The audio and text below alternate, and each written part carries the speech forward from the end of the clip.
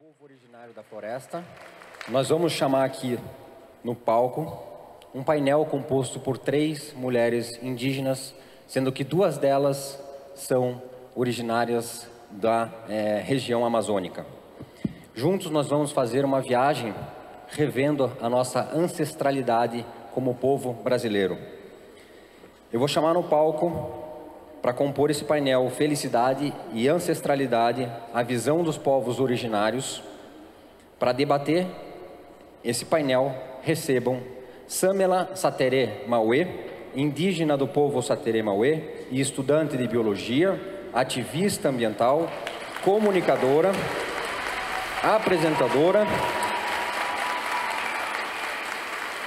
Elza Jacucha, é da etnia Mimbia Guarani, mulher, mãe, líder espiritual, vive na Tacoa, Quarai, Axá, em Guaraqueçaba, litoral do Paraná, e Dona Francisquinha Arara, que tem como nome indígena Vauacuru, que significa Corujinha Curandeira.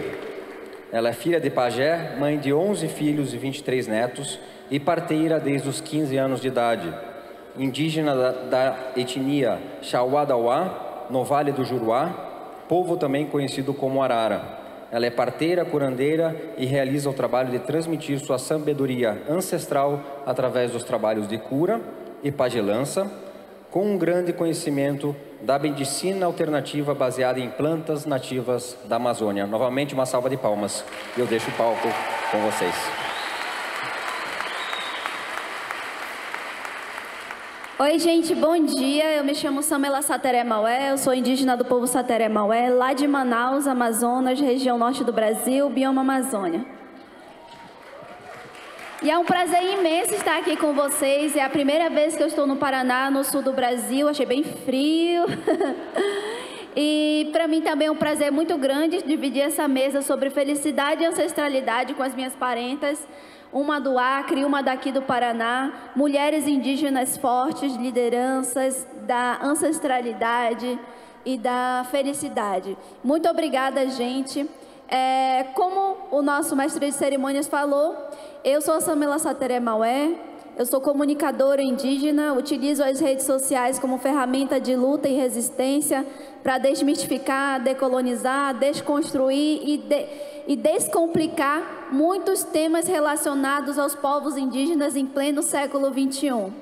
Também sou ativista ambiental e estudante de biologia na Universidade do Estado do Amazonas e participo de um movimento de ativismo chamado Fridays for Future Brasil, onde a gente participa da das COPs, conferências sobre mudanças climáticas, conferências sobre meio ambiente, e a nossa pauta é a pauta ambiental e a comunicação. E aqui nós estamos com duas mulheres incríveis, a dona Francisquinha e a dona Elza, e elas vão se apresentar um pouquinho para vocês e depois a gente vai debater a nossa temática. Muito obrigada. Bom dia, meus queridos irmãos, minhas queridas irmãs. Eu sou uma índia Xauandawa, que nem o amigo terminou de falar. Sou do Acre, tenho 38 netos, sou a mãe de 11 filhos e sou parteira, trabalho com medicina natural. Eu sou a índia do Acre, Xauandawa Arara. E Agradecendo todos aqui por esse convite de estar aqui nesse congresso. Estou muito feliz com toda. E sou parteira. E estou muito feliz de estar aqui representando o meu povo. E sou uma das abuelitas, faço parte das abuelitas, das anciãs da sabedoria. Que Deus abençoe a todos. Obrigada a todos e a todas.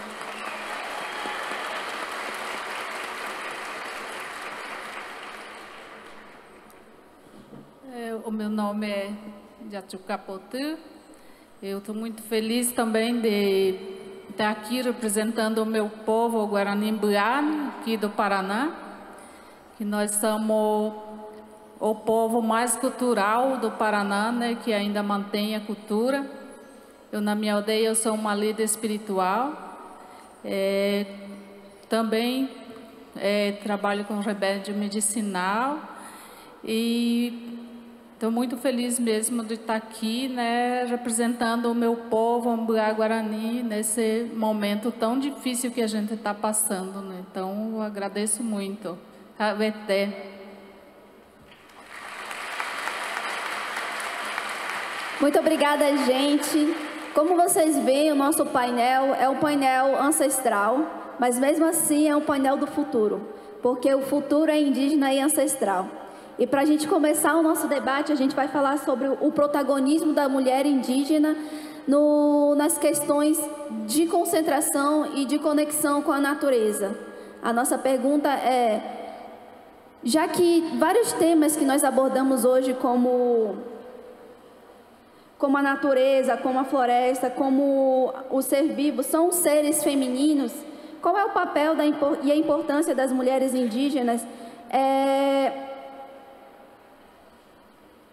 o que significa viver em harmonia com a natureza e como essa desconexão impacta no planeta e na vida das pessoas. Também, nós mulheres indígenas somos responsáveis pela transmissão dos saberes ancestrais o que seria desses saberes ancestrais na essência e por que que isso é tão importante para todos os seres humanos? A Amazônia, a floresta, a mãe natureza são todas palavras femininas. Como o saber feminino, sagrado e ancestral, Dona Terezinha, Dona Elza, eles contribuem para essa conexão com a natureza. É, Francisca, né? Você falou Terezinha. Desculpa. é, então, eu sinto assim que nascer, nascer feliz é nascer normal, é natural, né? É com amor, com paciência, é o aquele serzinho que está nascendo, nascer trazendo essa paz, essa alegria, esse amor. É porque às vezes a gente fala em amor, acha que o amor é só da boca para fora. Mas o amor, ele vem de dentro do nosso coração. Então, a, eu como parteira, eu sinto assim que nascer feliz é nascer pela mão de uma parteira é, tradicional, né? E aquela parteira trazia aquele ser com alegria, com amor, com respeito pelo, pelo aquele ser e a mãe, que é dois nascimentos, né? Da mãe e do filho. E a natureza é muito importante, que a nossa mãe natureza, ela traz a saúde, traz o amor e traz alegria que a natureza é tudo. Então a natureza foi a coisa que Deus deixou para nós. Então a natureza é o amor, né? E a gente zelar a mãe natureza, a nossa mãe natureza, a nossa mãe terra também, né? Que nós faz na nossa mãe natureza, nós falar na nossa mãe terra também, né? Que é a nossa mãe terra que não dá os nossos alimentos, é, para nós, para todos os nossos filhos, nossos netos, é, para a humanidade do mundo inteiro. E a Mãe Natureza, ela, é, Deus deixou muito medicina para nós se curar com ela, né? Dos medicinas da, da nossa Mãe Natureza. E ela traz muitos ensinamentos, porque nós, como índio, principalmente, nós temos que se curar com a nossa medicina da nossa mãe natureza. E é isso. Obrigada, dona Francisquinha. Dona Elza. Então, eu falo pela minha etnia, Guarani, é, falando da, da felicidade. Então, eu, por ser uma líder espiritual, eu escuto muito, né, de muitas pessoas que vão visitar minha aldeia, às vezes, né, falar assim, como que os indígenas, né, passam por várias dificuldades, a gente chega na aldeia deles, eles estão tudo felizes, é, sorrindo, criança brincando, por que que eles fazem isso, né, e tanta dificuldade? Então, nós temos o nosso Nhanderueté, Nhandetueté, né, que é o nosso grande Deus. Ele, ele é uma pessoa que... Por que, que nós temos nossos filhos? Por que, que nós temos nossos nomes indígenas? Porque Nhanderueté, quando ele manda nossos filhos na terra, ele já manda com um objetivo. Nós já sabemos o que, que aquela criança vai ser ali no nosso meio. Ele vai ser um, uma pessoa que de bem, vai ser uma pessoa, um líder, vai ser um espiritual. Aquilo lá nós já sabemos no dia que nós recebemos o nosso nome indígena, que é dado pelo um espírito dos ancestrais. Então ali mostra para nós todo o caminho que nós vamos ter, que é a nossa alegria, a nossa convivência com a natureza, porque nós somos a natureza. Nós somos filho da terra, nós somos filho da mata, e sem ela nós não vivemos.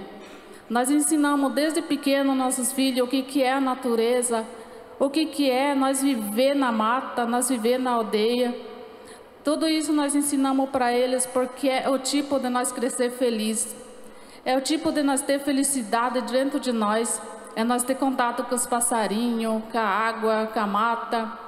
E é isso que nós lutamos para não deixar acabar, porque se chegar a acabar, nós indígenas não íamos ter mais felicidade, não íamos ter mais alegria. Porque nossos jovens, eles têm que aprender que eles têm que viver na, também cuidando da natureza, porque nós somos filhos dela. Ela que nos fortalece, ela que fornece o remédio para nós, ela que fornece é, força para nós viver, para nós criar nossos filhos, para eles crescerem em paz, porque a gente, cada folha que a gente colhe, cada raiz que a gente colhe, primeiro a gente pede autorização dos espíritos para que eles autorizem aquele remédio para a gente tomar, para que salve a gente daquela é, enfermidade que a gente está passando. E a gente tem os espiritual da gente, que são dos antes passados, que caminham com a gente. Cada um de nós é que vivemos nessa terra nós temos. É um espírito que caminha com nós, até mesmo esses que não são indígenas, né? mas às vezes algum é difícil deles é, é, tentar se conectar, né? saber que ele também tem o mesmo que nós temos. Então, acho que é, é isso aí que para nós significa felicidade, né? É o que nós carregamos de mais precioso, que para nós é a Mãe Terra e a Mãe Natureza. Que é isso que nós dá força para nós todo dia levantar, escutar um canto de passarinho, ali a gente vai sorrir junto. Escutar o barulho de uma água, ali a gente vai sorrir junto. Olhar para a natureza, ela está verde, a gente vai sorrir junto com ela. Porque tem o dia dos espíritos dançar na mata, e é aquele dia que é a, mais, a força maior que eles dão para nós, que estamos vivendo no meio da natureza. Então, é isso aí. Muito obrigada, dona Elza. Nós, povos indígenas, temos um pensamento de pertencimento e conexão, como se a gente fosse uma extensão do território e a gente nos considera como um corpo território. Nós consideramos o nosso bioma, pode ser o bioma Amazônia, o bioma Mata Atlântica, Pampa, Pantanal, uma extensão do nosso corpo. E todas as vezes que o nosso corpo está doente, o nosso bioma está doente. E toda vez que o nosso, nosso bioma acaba ficando doente, por conta de várias ações, o nosso corpo acaba adoecendo. Então, quando as pessoas falam em Amazônia, em floresta, mãe natureza, palavras femininas, nós entendemos que o nosso território é um corpo sagrado, feminino e ancestral. Porque não sei se vocês perceberam, é a natureza, é a floresta que dá a luz, que dá a vida. Assim como uma mulher. A mulher é a mulher que dá a luz, que dá a vida. E a gente entende o nosso bioma como uma mulher. E são as mulheres indígenas que têm um papel fundamental dentro das aldeias, ou nas cidades, ou nas comunidades, de cuidar. De cuidar das crianças, de cuidar dos mais velhos, de cuidar da alimentação. E o nosso território para a gente é um cuidar, é o cuidado. Se a gente não tem território, se a gente não tem para onde ir, se a gente não tem a nossa casa, também a gente não tem cuidado. A gente não se sente é, bem consigo mesmo. Se, todo, se tudo que a gente acredita, se tudo que a gente vive, um dia possa estar ameaçado. Às vezes as pessoas elas não entendem o pensamento indígena, porque elas têm um pensamento muito europeizado, já enraizado na sua vivência. É um pensamento de somente tirar da natureza e não devolver. Um pensamento de acumular, acumular, acumular e, e para o futuro, um futuro que pode talvez nem acontecer. Nós, povos indígenas, nós vivemos do que a natureza nos dá, nós vivemos do que a mata nos proporciona. Nós comemos naquele dia e vivemos naquele dia, porque é o que é importante para a gente. Porque a gente pensa que o que é nosso sempre vai estar tá lá. No entanto, isso acaba sendo ameaçado, né? É por isso que as pessoas falavam muitas das vezes que os indígenas eram isso, que eram aquilo, porque simplesmente porque não entendem o nosso modo de viver. Simplesmente porque querem impor o seu modo de viver ao modo de viver dos povos indígenas. E isso a gente está aqui para falar para vocês como nós vivemos, o que é a nossa felicidade, que vem como base da nossa ancestralidade. Felicidade para a gente é poder comer o nosso eu gosto muito de comer tambaqui, poder comer o nosso peixe, de poder comer a nossa farinha, de poder viver um dia após o outro, sem se preocupar com as coisas do mundo, sem se preocupar com, com as coisas que vêm acontecendo, com violências, com invasões. Isso para a gente é felicidade. E isso é muito importante porque isso para a gente é repassado pelas mulheres indígenas. Existem dois tipos de educação, que são a educação escolar indígena e a educação indígena. A educação escolar indígena é a educação que vai para dentro das aldeias, onde as crianças aprendem português, matemática, ciência, geografia, história, as crianças indígenas. E a educação indígena vem através do observar, do ver, do fazer e da experiência e do exemplo que a gente está vendo dos mais velhos. E isso a gente aprende com as nossas mães, com os nossos mais velhos. Todo o saber sagrado ancestral do nosso povo, a gente aprende com a nossa mãe. Por mais que alguns povos sejam patriarcais, a criança acaba aprendendo com a mãe, porque é a mãe que, que nasce, a mãe que puxa do útero, a mãe que cria, a mãe que embala, a mãe que dá o primeiro banho, a mãe que ensina as primeiras palavras. Então é a mãe que vai ensinar o segredo e o valor da vida e da existência para as crianças indígenas. Então é muito importante que as mulheres indígenas e que as mulheres no geral sejam respeitadas como o futuro, o presente e o passado do nosso povo. E agora vamos caminhando para a nossa segunda pergunta. Obrigada, gente.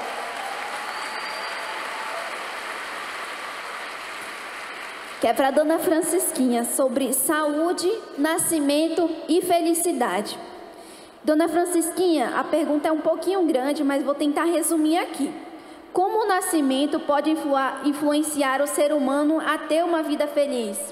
Aí é, é sobre felicidade, sobre como é natural, como chegar ao mundo naturalmente, se isso influencia e qual o impacto disso na vida da mãe e na vida do bebê e como isso pode determinar a vida de uma pessoa. É, também viver em harmonia com a natureza pode ser um fator determinante para o ser humano e ter uma saúde e ser feliz e ter essa conexão no dia a dia né, com a natureza. E se a medicina tradicional, se as plantas que a gente usa na aldeia, se o nosso método tradicional de nascimento, crescimento, criação e medicação, é, eles também funcionam para doenças emocionais. É, então, pelo meu conhecimento, que eu aprendi com meu pai, né? É, que nem agora eu terminei de falar. Nascer feliz é se curar com, com medicina da floresta, né? Então, é, nascer feliz é cuidar da floresta e se tratar, se curar com medicina da floresta. Por quê? Que é nascer feliz com medicina da floresta, porque a medicina da floresta, ela não tem química nenhuma, né? Então, que quando ela cura, a gente, quando o neném nasce, principalmente, a gente já tem, principalmente na nossa tradição, a gente já tem um banho de Eva para dar banho nas crianças, para poder proteger os bebês, né? Então, o neném está feliz, que já nasce com esses, é, a gente dando banho, com essas medicinas naturais. E, é, eu vejo muitas vezes a pessoa falar assim, nossa, não pode dar um chá para o bebê quando nasce. Mas na nossa tradição do povo Xauandawa, a gente já planta a erva própria para fazer um chá para o bebê, para ele não sentir cólica, né, para criar um neném sadio, feliz e não dá, não dá tanto trabalho para a mãe com esse negócio de cólica. Então, se tudo isso traz a felicidade, né? Eu, assim, eu ensino assim, tanto para minhas filhas, como para minhas netas, como para minhas amigas também, que eu faço os partos, né? Eu penso assim, que eu não quero, eu quero o melhor para minha família, é, os índios Xauandaua, meus netos, meus bisnetos, que eu já tenho um bisneto também, né? E para minhas amigas também, as brancas que precisam, né? É porque as brancas também, eu acho assim, que elas precisam, muitos delas também precisam de aprender o nosso ensinamento da nossa tradição. Porque nós precisamos proteger os nossos filhos, nossos netos, nossos bisnetos. Então nós precisamos trazer o, os nossos filhos com mais saúde, sem nada de química no, no corpo, no, no nosso sangue, né?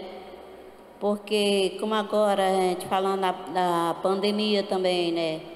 Que teve essa pandemia, é, o povo falava assim que a gente pegava o Covid se falasse perto um do outro, se pegasse na mão um do outro, mas eu percebi que que essa pandemia, o Covid que apareceu, é, foi um, um, um espírito maligno da doença que desceu no mundo inteiro, né, no mundo inteiro, para atingir tanto os brancos como os índios. O meu pai já é lá da minha aldeia, ele nunca saiu da aldeia, nunca. Então, se foi o primeiro que pegou na aldeia o Covid, foi ele, né? mas eu não sei como, porque o povo falava que se só pegava o Covid se falasse perto um do outro, se pegasse na mão. Aí eu pensei assim, eu digo, não. Quando o pajé pegou, eu falei, não, eu acho que não é. E quando eu peguei, quando eu peguei, não, quando o Covid também, coronavírus me pegou, né, que não foi eu que peguei, né. É, quando Covid me pegou, eu senti que fosse, eu, eu tive uma experiência porque eu senti quando ela me pegou, né? Eu estava tomando banho, eu vinha subindo, tinha tomado banho no rio, seis horas da tarde, quando eu senti que ela me pegou assim dos meus pés e, e foi tipo assim, uma cobra que foi me pegando e foi me apertando. No momento eu falei para minha neta, falei, Bela, o Covid me pegou. Ela falou, vó, para com isso. Eu disse, tenho certeza, que eu senti na hora. Então, por isso que eu falo assim, que o Covid, ele foi um ser da espiritualidade, das trevas, que ele desceu para fazer acontecer o que aconteceu.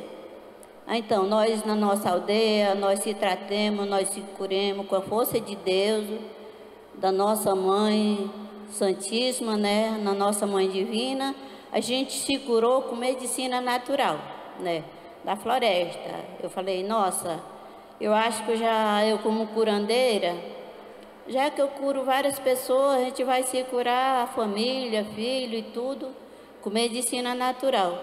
Então, se a nossa mãe natureza, que nem você terminou de falar, a nossa mãe natureza é o nosso médico, é, que tem, tem todos os ensinos, em todas medicina para nós se curar, curar nossa família e curar nossos irmãos brancos que precisar e acreditar.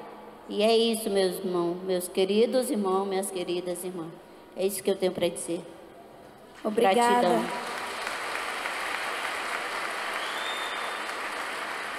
É isso mesmo que a dona Francisquinha falou. Eu, se, eu faço biologia, né? E eu sempre costumo falar que a base de tudo vem da floresta. Se todos os remédios que existem aí no mundo, tudo foi extraído da natureza. E se esses remédios já foram patenteados para qualquer tipo de coisa, é porque alguém descobriu. Alguém foi lá na mata, foi lá, experimentou, alguém tirou aquela planta, aquela raiz, aquela erva, aquela semente, aquela resina e descobriu que servia para alguma coisa, aí foi patenteado e virou uma cápsula, um remédio ou alguma outra, uma vacina. Tudo de vem da natureza. E os povos indígenas detêm todos esses conhecimentos sagrados, ancestrais de cura, de medicina, é, que servem para todo tipo de doença, inclusive para as doenças emocionais.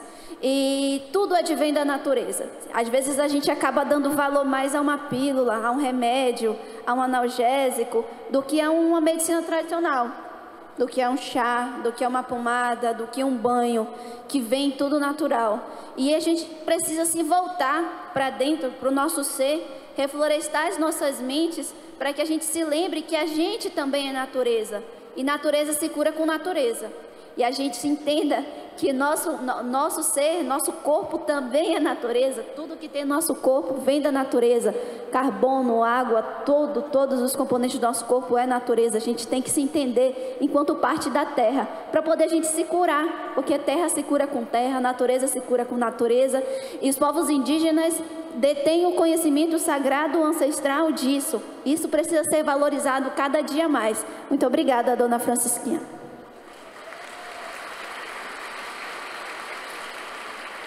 Obrigada, gente. Dona Elsa, sobre espiritualidade e felicidade. É, como os povos indígenas vivem a espiritualidade no dia a dia? Qual é a importância da casa de reza? O que é espiritualidade para os povos originários e como a desconexão com a espiritualidade pode trazer impactos para as nossas vidas? É, então, é, nossa etnia Guarani-Mbuá, nós temos é, a nossa casa de reza, né? Todas as nossas aldeias têm a nossa casa de reza. Que essa nossa casa de reza, ela não é construída pelas nossas ideias, né? De, de, de nós ter uma ideia que nós vamos construir uma casa de reza.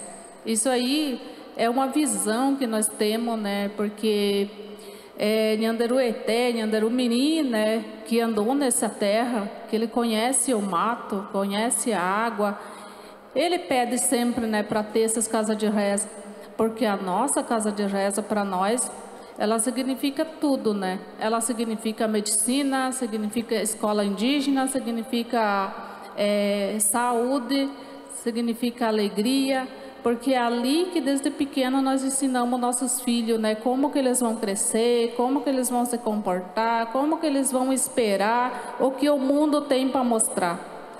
Então o povo Guarani, eles têm uma conexão dentro da casa de reza, não é só um dia, eles têm é todo dia, todo dia eles têm a oração deles na casa de reza. E o nosso Nhanderuetê, ele não escolhe, ele não passa de pai para filho, não passa de mãe para filho. Isso aí é, é Nhanderuetê, Nhanderumini que escolhe quem que vai ser o líder espiritual dentro daquela casa de reza. Porque é, a nossa a nossa casa de reza, ela é tudo para nós, né? Em tudo que nós precisamos é, ela traz alegria porque é ali que nós educamos nossos filhos. É ali a primeira educação que eles têm. É ali que eles aprendem ao respeito, eles aprendem a ter amor pelos outros, eles aprendem o que, que é a natureza, aprendem o que, que é, é defender os territórios deles, porque é ali que é a educação que nós passamos para eles.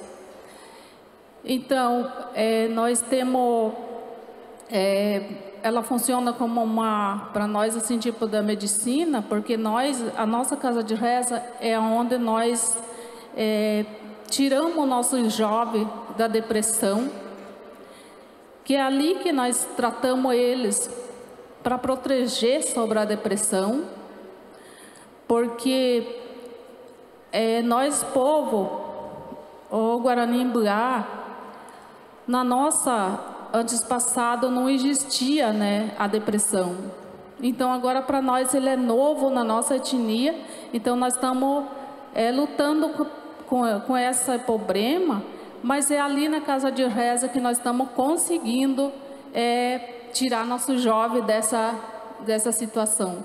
Porque nós temos uma visão diferente do que acontece, que esses problemas, ele é, da depressão, ele é um espírito também. Ele é um espírito que acompanha, né, o pensamento, o coração, faz se emocionar, faz ficar triste. Então isso aí para nós é um espírito. Então, se nós conseguir libertar o corpo dos nossos jovens, ali nós vamos livrar eles. Então, por isso que para nós é muito importante né, a casa de reza, é muito importante essa, a, a natureza, porque a mata, ela protege nós de todo o que for do mal. Nós temos a mata em roda de nós. Eu mesmo moro numa aldeia que é só mata. Então, a mata se tem uma coisa que está para nós atingir primeiro, ela vai chegar na, ali primeiro. Então, a natureza, ela tem forma de proteger os filhos dela que estão né, no meio daquela natureza. Então, para nós é, é muito importante nós educar nossos filhos na casa de reza. Eu mesmo não sou de uma família espiritual, né? A minha família não era espiritual. E Nhandarueté me escolheu para me estar nessa caminhada. Hoje em dia eu dou muito palestra ajudando os jovens né, sobre depressão, da minha etnia mesmo, que me procuram, precisam, né, eu estou junto para ajudar. Porque eu sei o quanto é importante né, a gente é, ajudar os jovens em dia, porque eu acredito que os jovens eles são o futuro do Brasil. Né? Então é neles que nós temos que pensar. E eu tenho, nós temos vários chamões que nós chamamos, né, que são da minha etnia, só que é muito difícil eles conversar sobre isso, né? Muito difícil eles passar os nossos verdadeiros ensinamentos, nossos verdadeiros é, o que que nós nossa, nós exercemos de verdade na aldeia sobre né, os, os remédios medicinal, sobre a espiritualidade nossa, né? Mas eu, eu assim, vejo que Nhandaru até me colocou numa caminhada que eu, eu tenho que revelar né, muitas coisas para mim poder ajudar o meu jovem. Né? Então, isso aí eu aprendi. Fui é, consagrada na casa de reza por Nhanderu, por isso que eu falo que a casa de reza para nós é importante, que ela funciona como é, ela funciona como tudo. Ela é um, um palanque nosso dentro da nossa aldeia, né? Que para nós é ali que é a nossa força, para nós vencer o que nós temos no mundo. Então nós eh, passamos por tanta dificuldade, mas em nós é ali que nós encontramos a nossa felicidade, porque nós todo dia nós temos é, se reunimos nós conversamos de coisa boa, pode o que está passando, o que passar no mundo, mas ali nós tentamos trazer o amor, tentamos trazer é, o carinho, passar coisa boa. E é ali que a gente vai reforçando né, tudo que é do bom, para não deixar o mal entrar, né? Com tanta dificuldade mesmo, né? Que, que hoje em dia a gente está passando, mesmo que nem a dona Francisquinha falou da pandemia que nós Mbuá é, também, né, do povo Mbuá, a gente já teve, nós temos uma mania que cada mês de janeiro nós reunimos, os povos, os Guarani, né, é, os Chamões Guarani se reúnem para ter um ritual, porque é ali que nós vamos ter a nossa revelação do ano que está vindo, como que nós vamos preparar nossos filhos, como que nós vamos se preparar para nós enfrentar o que vai vir de novo. E é ali que nós descobrimos quando a pandemia ia chegar. E é ali que Nhandaru mandou nós ficar aonde? Dentro da casa de reza, é debaixo da natureza, e nós obedecemos. Então eu agradeço muito, é meu Nhandarueté, Nhandetietê, porque do nosso povo Mbuá Guarani, se fartou foi uns dois só. Porque Nhanderuetê falou para falou nós que se nós respeitasse a natureza, nós respeitar o que ele ia dizer, o povo dele ia se salvar. Porque é muito pouquinho o povo dele que está aqui nesse mundo. Então ele ia proteger. E a gente acreditou e a gente saiu, saímos dessa, todas as nossas aldeias, Guarani Mbuá, tudo forte da, da pandemia. Porque nós acreditamos que a natureza ia nos salvar. Então nós seguimos, tomamos remédio do mato, já se protegemos antes, demos banho em nossos filhos, preparemos né, nossos, nossos antepassados para nós guiar, o que era para nós fazer, e assim nós protegemos. Muitas aldeias passou por muita dificuldade, mesmo a minha, mas a gente saiu dessa forte. Então, para nós é muito importante a casa de reza por causa disso, que ela é um livramento de todo para nós. De todo, todo que é do mal, ela para nós é um livramento. Então, é isso que nós acreditamos. Nós não temos outro meio de, de nós de, é, se manifestar sobre assim, religião se não for ali. Nós não temos uma religião, nós temos uma cultura. Porque esse livro vem dos anos passados, né? Os anos nossos passados, eles já tinham essa cultura desde antes de Cristo. Isso não é de hoje. Então esse foi herdado por eles e eles continuam passando isso aí para nós, continuam passando cada ano para nós isso aí. O que que é para nós fazer? O que que é para nós? É, que caminho que nós temos tomar? Então é isso aí que significa para nós a casa de reza, significa natureza, significa a alegria, é isso aí que, que significa para nós. Então, a Gudievete. Obrigada, obrigada, dona Elza. Quão é importante a espiritualidade é, para a gente ter a felicidade, né? Chegou aqui uma pergunta que é da Cláudia e da Jaci que pode, acho que pode ser respondida tanto pela Elsa, pela dona Francisquinha, às vezes até por mim. A pergunta é: por que, que o jovem indígena sofre com depressão? Foi um tema abordado aqui. É, então, é, o jovem indígena sofre da depressão, por quê? É porque tem muitos jovens indígenas que eles é, hoje é que nem a dona Elza estava é, falando, é porque hoje os jovens indígenas, eles estão, não estão mais querendo saber da cultura, né? Muitos deles. Então eles querem saber mais da, do celular, que é coisa que nós, indígenas, que a gente está acabando assim, tipo a tradição do, do jovem, é de comprar o celular para eles, né? Porque quando compra o celular para eles, aí eles não querem saber da cultura, querem saber da coisa dos brancos. Aí, por que que hoje muitos jovens é, índios têm depressão, ansiedade? É que eu vejo muito isso, né? É, não adianta a gente esconder, porque a verdade é dita. A verdade é pura. Na, dentro da verdade não existe mentira. E é isso que eu vejo muito, muitos jovens indígenas sofrer depressão, ansiedade, por isso. É, então, o que, que é bom a gente fazer isso? É, hoje, com jovens, que eu penso muito assim, é, lá na minha aldeia mesmo, graças a Deus, todo mundo não tem esse tempo de ter depressão, ansiedade. Por quê? Porque eles lá eles trabalham na, na mata, na floresta, plantando, plantando macaxeira, plantando tudo que, que a terra dá, né?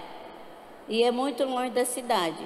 E muitos deles que moram mais perto da cidade, acontece isso de ter depressão, ansiedade por causa disso. Então eles não têm muito é, é, assim essa força de mexer com a terra, né, plantar, que é isso que nós pode fazer, tirar o nosso jovem, os índios da depressão, da ansiedade, né? Porque que nem os meus filhos mesmo, não é dizendo que os meus filhos são melhores do que todos, que a gente, eu sinto assim, todo mundo são iguais. Então, se para Deus não tem ninguém melhor do que os outros, todos somos iguais. Índio, branco, preto, branco, todos somos iguais. Eu sinto isso, né? E também a gente vai mexer com as plantas, eu trabalho com os floral, com as flores. A gente, eu principalmente, eu peço licença primeiro para fazer a colheita de toda a matéria-prima, por quê?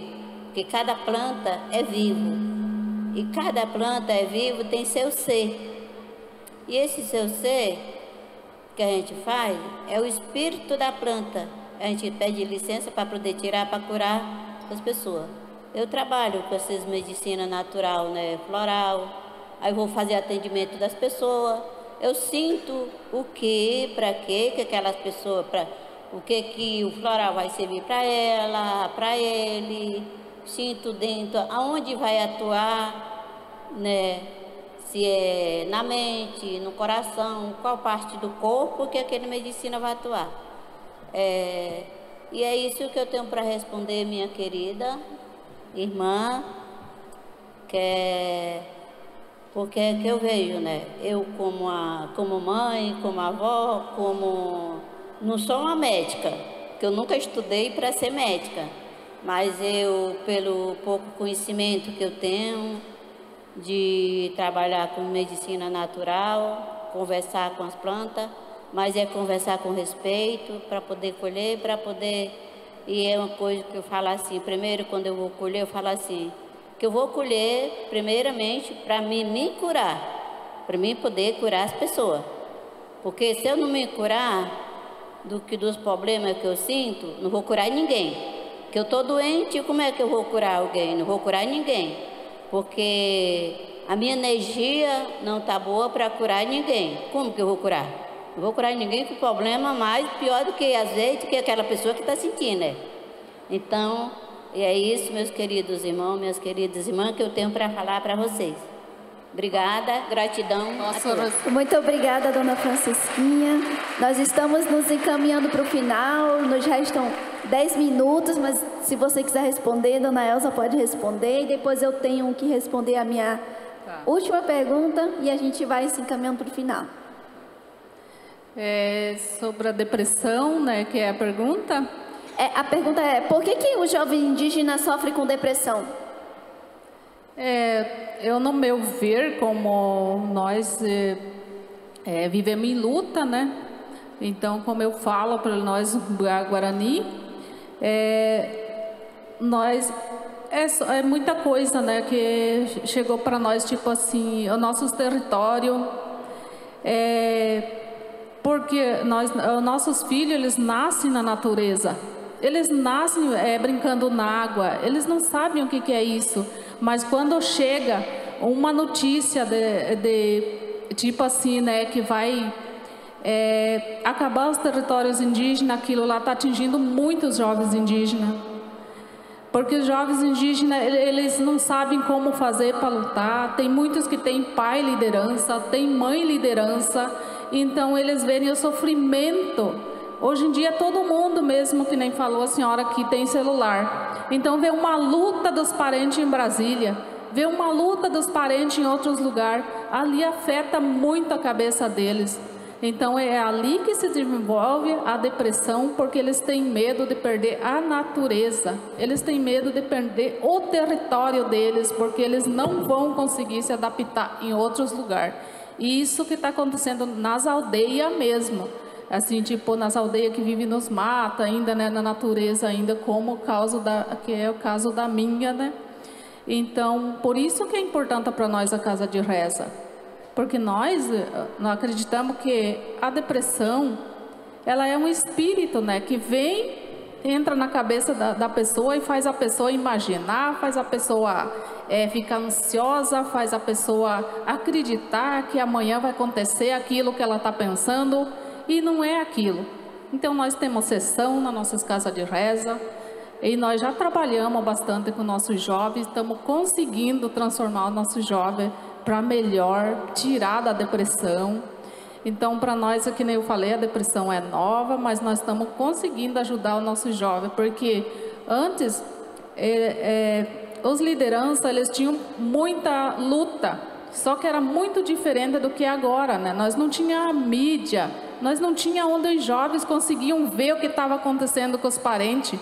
Mas hoje em dia tudo eles têm, né? Então quando eles verem, eles não precisam nem contar para as mães, para os pais, o que, que eles viram acontecer com o parente, né? Eles se calam e guardam para eles e é ali que desenvolve a depressão. E é isso que nós, nosso povo Guarani-Mbuá, desenvolve a depressão é mais por causa da, dos territórios mesmo. Então é isso que eu tenho para explicar da depressão. Obrigada, dona Elza.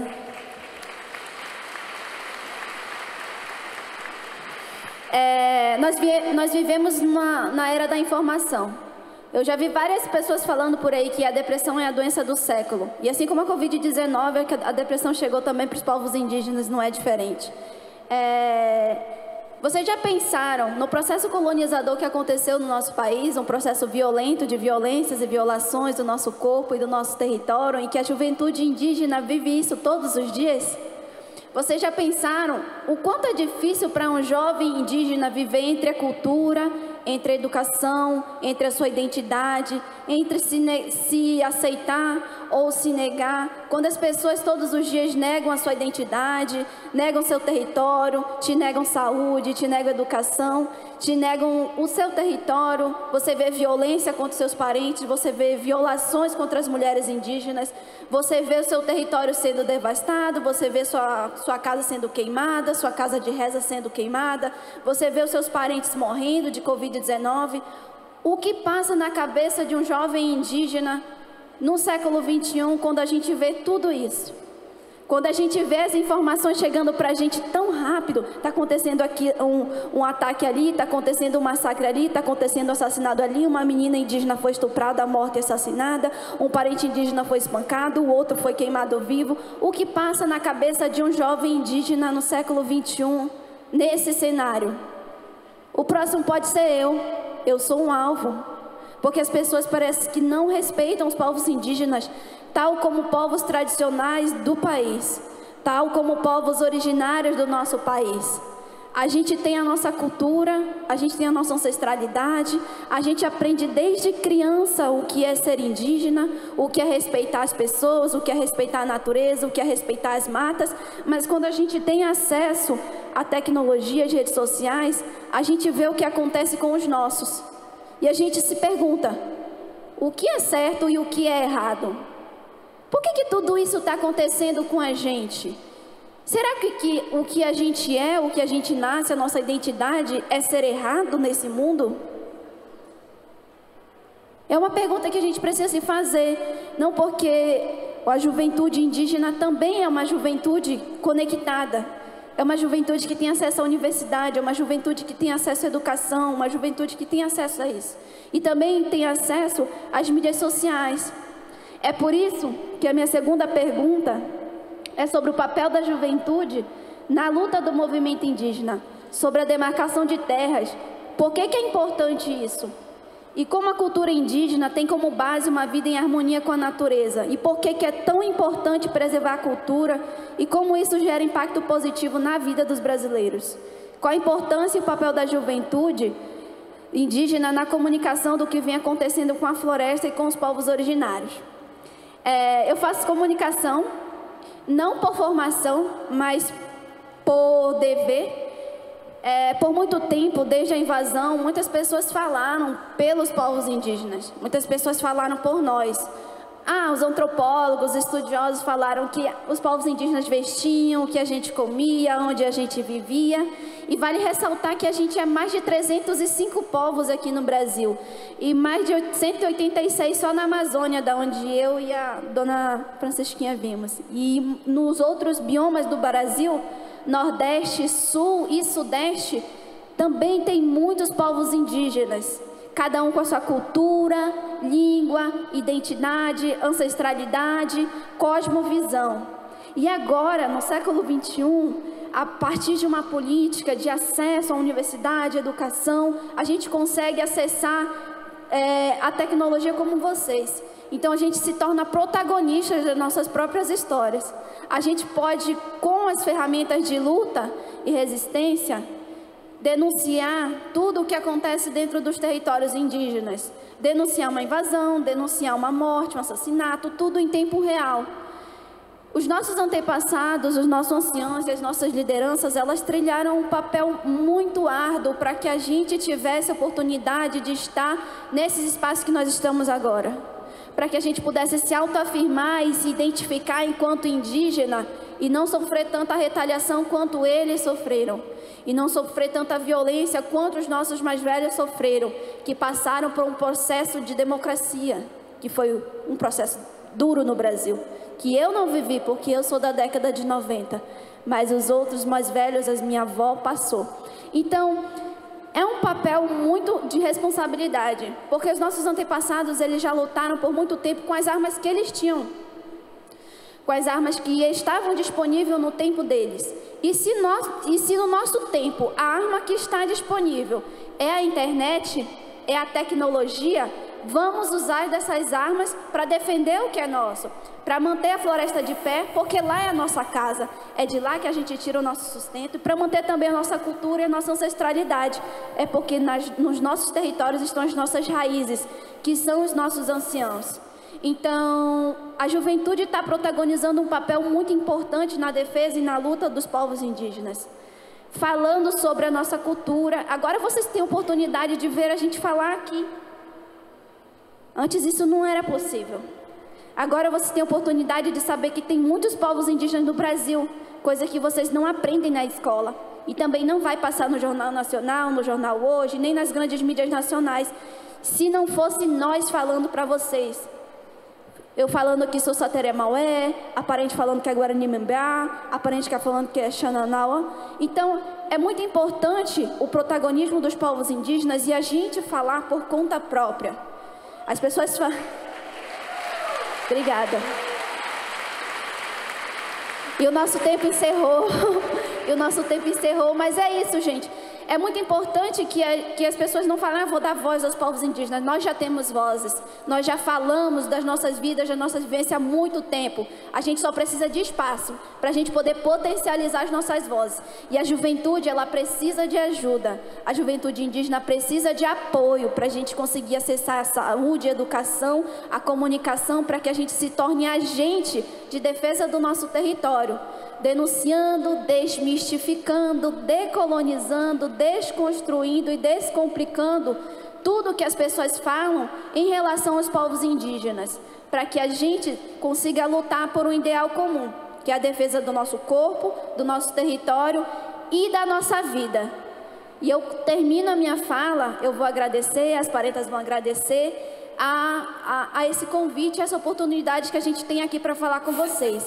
Eu agradeço estar aqui nesse espaço, poder conhecer vocês. Eu espero estar outras, outras vezes aqui no Sul. Também peço licença por estar aqui no território de vocês, falando, é, me comunicando. E também convido vocês a visitarem o nosso território, visitarem a Amazônia, visitarem o Amazonas, visitarem Manaus, porque vocês vão ser muito bem-vindos lá. É bem quentinho. Muito obrigada, gente.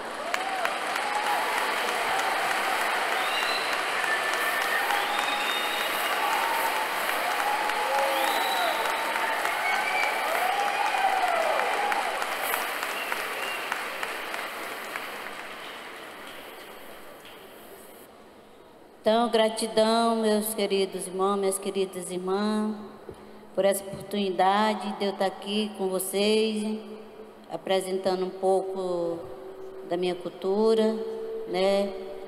É, eu sinto muito, assim, com muito carinho, com muito respeito pelos nossos parentes, assim, que, que eles nos têm o território deles demarcado, né?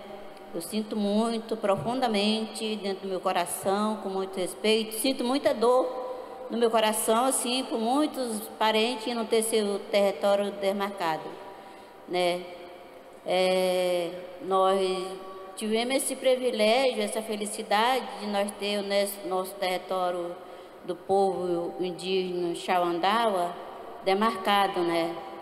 Mas eh, Deus está no céu, Deus é por todos nós, nossos, nossos índios, nossos parentes, nossos filhos.